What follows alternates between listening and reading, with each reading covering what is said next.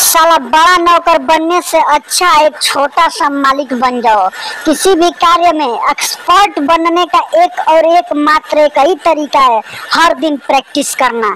योद्धा वही कहलाते हैं जिन्हें अपनी जान से ज़्यादा जीत प्यारी होती है। तूफ़ान ज़्यादा हो तो कश्तियाँ डूब जाती हैं और घमंड ज़्यादा हो तो हस्तियाँ डूब जाती हैं, बात याद रहे। ज्ञान से खतरनाक कोई हथियार नहीं, इसे फुल लोड करके रखे हमेशा।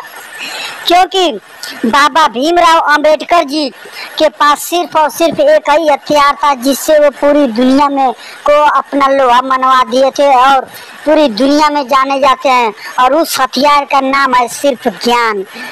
आज रास्ता बना लिया है तो कल मंजिल भी मिल जाएगी। हौसलों से भरी यह कोशिश एक दिन ज़रूर रंग लाएगी। सपने औकात से बड़े हैं तो क्या हुआ? इसे पूरा करने के लिए हम भी जिद पर अड़े हैं। सिर्फ़ वक्त के भरोसे मत बैठे रहना। किस्मत वालों के हाथ खाली रह जाते हैं और मेहनत करने वालों के नहीं। यदि लोग आपके लक्ष्य पर हंस नहीं रहे हो तो समझो कि आपका लक्ष्य बहुत छोटा है।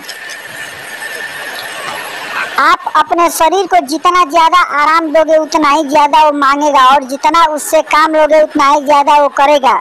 तुम्हारे लक्ष्य के अलावा जिस पर भी तुम्हारा ध्यान है, वही तुम्हारा सबसे बड़ा शत्रु है।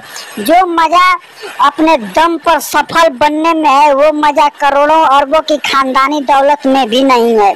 रतन टाटा जी की एक सीख है। पैसा तब तक कमाओ, तब तक कमाओ, साला जब तक की महँगी से महँगी चीज़ सस्ती ना लगने लगे। चाहे वो सम्मान हो या सामान। परेशानी में जो अनुभव और सीख मिलती है, वो सीख दुनिया के कोई भी स्कूल नहीं दे सकता है। ज़िंदगी मिली है तो खुद बनकर दिखाओ। अगर वक्त खराब है तो उसे बदल कर दिखाओ। अपना बोझ खुद उठाना सीखो। दूसरे के भरोसे बैठे रहोगे तो कभी तो ठोकर खाओगे ही। सब कुछ मिलेगा जब आप किस्मत से ज़्यादा मेहनत पर विश्वास रखोगे। हर कष्ट तुम्हें संदेश देता है और यही संदेश तुम्हारा जीवन बदल सकता है। जो आराम से बैठता है, जो कष्ट नहीं उठाता है, समझो कि वह ज़िंदगी में सफल है, क्योंकि अच्छी चीज़ों को प्राप्त करने के लिए, ज़िंदगी में अच्छा से अच्छा चीज़ प्राप्त करने के लिए कठिनता को तो झेलना ही पड़ेगा।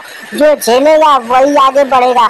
जो खून और पसीना एक करके मेहनत करेगा, वही आगे बढ़ेगा। जो आराम की ज़िंदगी जिएगा, वो ज़िंदगी में कभी आगे नहीं बढ़ सकता है।